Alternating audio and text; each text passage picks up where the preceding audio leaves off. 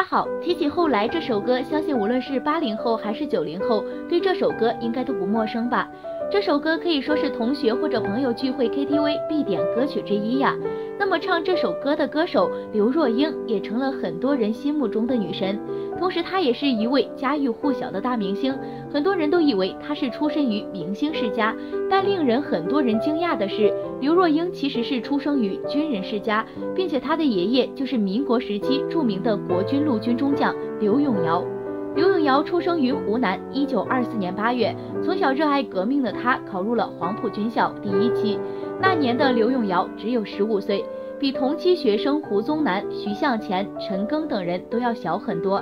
在校的刘永尧表现优异，毕业之后的他遇上了当时中国革命的高潮。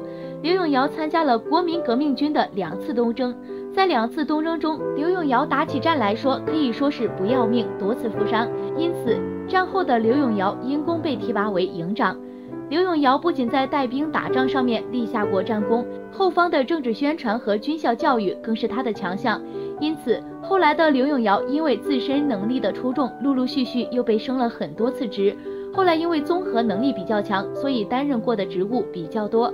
比如，他也曾在戴笠的军统工作，尤其是在军统系统下的政训处，是戴笠的得力干将。直到一九四五年六月。刘永尧因卓越的功勋被授予陆军中将军衔。新中国成立后，刘永尧定居台湾。上了年纪的他退出了政治和军事舞台，选择了和军事相关的教育事业。后来，他还把丰富的实战经验都编写成了书，其中不少作品还被选为了军事政治领域的教科书。一九九八年，刘永尧逝于台湾，其孙女刘若英后来成了家喻户晓的大明星。提起爷爷的他，充满了崇敬和思念。